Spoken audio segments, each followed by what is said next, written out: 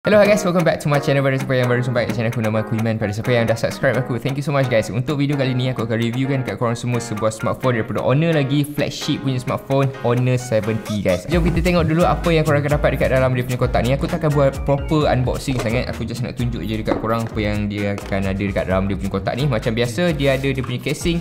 Casing yang clear macam ni Look at that. Ha, Ni dia punya casing.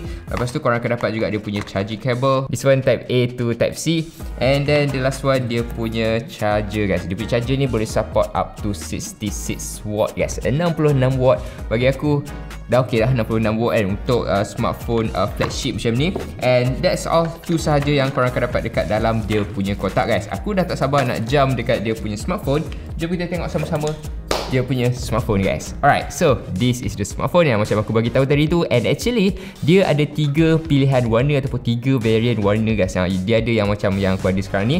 Yang ni yang dinamakan as a crystal silver. Lepas tu dia ada emerald green and midnight black. So dia ada tiga pilihan warna yang kau boleh pilih. Tapi bagi aku yang ni yang the best lah. Ha, Yang ni dari segi dia punya uh, design bahagian belakang panel dia tu kan back panel dia tu memang cantik. Dia nampak macam diamond sikit and kat bawah ni dia ada macam glitter-glitter sikit. So memang aku suka nak kena pula dengan dia punya uh, kamera guys. Ha, kamera design dia memang sangat-sangat cantik. Dia macam lebih kurang macam uh, dual ring design lebih kurang macam tu. So dia ada dua bulat uh, atas and bawah macam tu. And actually dia ada tiga kamera guys. Dia ada triple kamera and dia punya megapixel dia memang sangat-sangat gam guys. Dia ada 54 megapixel untuk dia punya main camera 50 megapixel untuk dia punya ultra wide camera 2 megapixel untuk dia punya depth camera and untuk dia punya selfie camera pun biasa kalau smartphone lain just belas-belas megapixel je kan 12 megapixel 16 megapixel. Tapi this one dia boleh bagi 32 megapixel selfie kamera guys. Dari segi dia punya hasil gambar video nanti aku akan tunjuk kat korang. Jangan risau aku akan tunjuk dia punya contoh-contoh gambar dan contoh-contoh video yang aku dah ambil dengan menggunakan smartphone ni untuk bahagian luaran kan? Ah, the first thing yang korang perasan ataupun yang aku boleh katakan dekat sini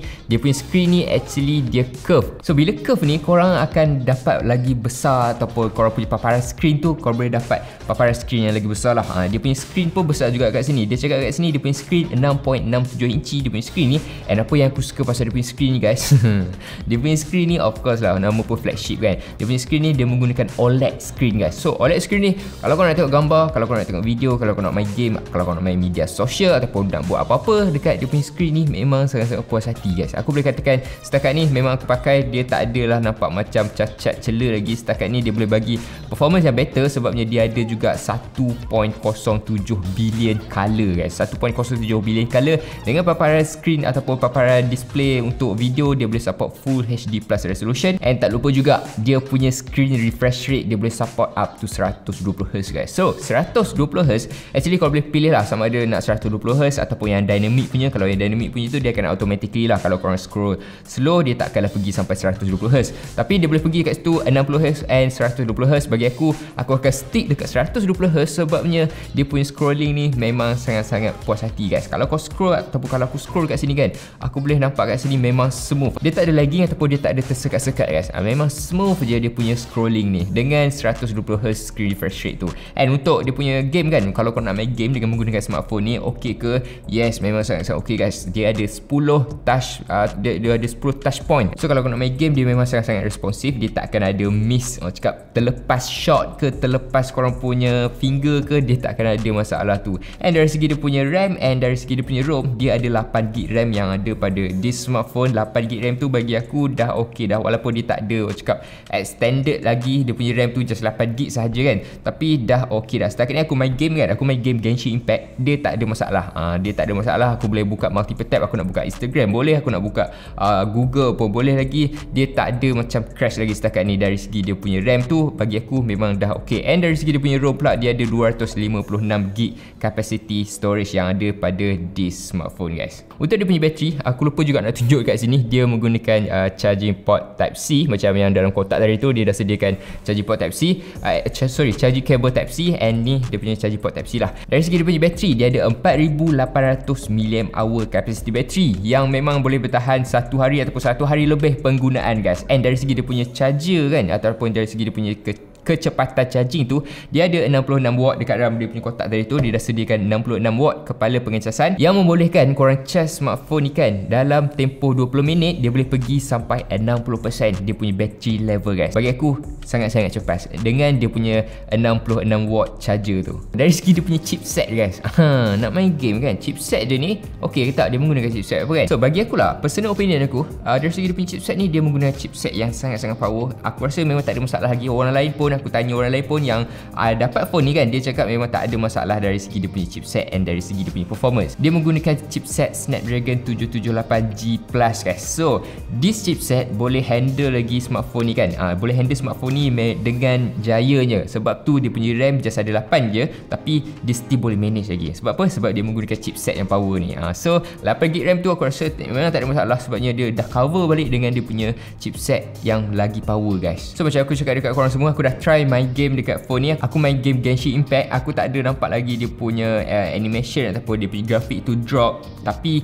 boleh dikatakan boleh dimain lah. Boleh main and tak ada masalah uh, dia punya animation ataupun masalah dia punya grafik ke masalah performance ke still setakat ni boleh run smoothly guys. And untuk dia punya sistem yang digunakan pada di smartphone dia menggunakan Magic UI 6 dengan Android 12 guys. So Android 12 bagi aku tak ada masalah. Aku tak nak uh, complain banyak dekat situ ataupun aku tak nak ulas banyak dekat situ. Memang kau boleh download semua benda semua game semua apps yang kau nak download dekat di smartphone kau boleh download macam biasa je guys. Jom kita tengok performance dia punya kamera guys. Dari segi dia punya video dari segi dia punya foto. Macam mana? Okey ke tak? Okey aku memang sangat-sangat amazed dengan dia punya night mode ataupun night shot yang ada pada di smartphone guys. Sebabnya aku dah receive ni macam aku cakap tadi aku dah receive awal bulan 8 and aku dah snap banyak gambar eh, banyak video dengan menggunakan smartphone ni ataupun kamera daripada smartphone ni. And apa yang aku amazed kan dia punya night shot memang sangat-sangat nice guys dia bukan just boleh setakat cerahkan gambar tu tapi dia boleh balance kan antara color antara dia punya saturation antara dia punya contrast. Memang tak ada nampak fake langsung memang nampak nice je. And korang boleh tengok sendiri contoh gambar yang aku dah snap dengan menggunakan di smartphone memang sangat-sangat cantik kan. Ha, untuk waktu malam kalau ada lampu yang color-color memang lagi nampak dia punya pop up dia punya vibrant tu memang nampak neutral je. Dia tak ada nampak macam struggle hard sangat untuk nak cerahkan dia punya gambar tu.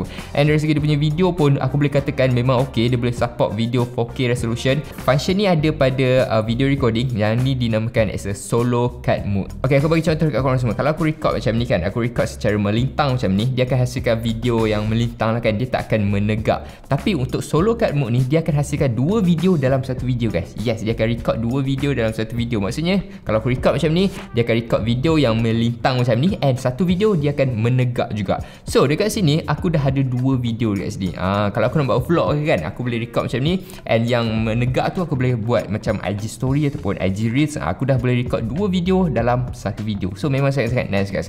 And dari segi dia punya function ni kan, dia boleh automatically tracking the object ataupun orang tu. Kalau orang tu bergerak, dia akan ikut pergerakan orang tu. So dekat sini dia umpamanya macam automatic keyframe lah yang akan track orang tu and dia akan record dalam yang uh, menegak tu. Ah so kalau orang tu dah hilang kan? Ataupun dia tak boleh nak kesan dia punya tracking tu dia akan back to normal balik bila objek tu muncul dekat dalam dia punya screen tu lah. Ha, so kalau dia lost tracking pun dia still boleh track balik bila objek tu ada. So memang sangat-sangat nice lah. Aku dah try dah. Memang aku rasa ok lah. Dari segi dia punya quality video yang ni boleh support up to 1080p sahaja. Kedua-dua video tu dia record dengan menggunakan 1080p and ada lagi lah banyak lagi uh, feature-features video lain. Macam korang boleh buat macam vlog kan. Dua kamera satu kamera dekat bahagian belakang satu kamera dekat bahagian depan. And dari segi dia punya hasil video video pun aku boleh katakan memang sangat-sangat sharp. Tak ada masalah lagi setakat ni. Dari segi dia punya gambar macam aku boleh tengok ah dari segi dia punya bokeh dari segi dia punya contrast saturation dia punya blend mode tu kan aku boleh katakan memang sangat-sangat nice guys. Uh, worth ke tak nak beli kan dengan tanda harga ha aku lupa lagi nak sebut dari segi dia punya tanda harga. This smartphone kan. Flagship smartphone datang dengan tanda harga RM1,999 guys. Almost RM2,000 boleh dikatakan bawah RM2,000 lah. Bagi aku dengan tanda harga macam tu kan ataupun dengan harga yang macam tu memang sangat-sangat berbaloi. Sebabnya ni adalah flagship semua punya smartphone. So dari segi dia punya display pun memang nice. Dia ada curve display macam ni. And dari segi dia punya bateri pun besar 4800 mAh chipset pun power. Sensor yang digunakan pada kamera ni pun power dia punya kamera pun power. So semua dah power guys semua memang ngam dekat smartphone ni guys. Dari segi dia punya back panel design pun memang nice. So RM2,000 ataupun RM1,999 tu aku rasa memang boleh dibeli guys. Ha, so aku rasa tu je review yang ringkas dari aku untuk video kali ni. Kalau kau nak beli ataupun kau nak pre-order kau tekan je link dekat description. Aku dah sediakan link dekat description. Thank you so much for watching. Thank you so much for stay daripada awal video sampai hujung video. And see you guys in the next video. Bye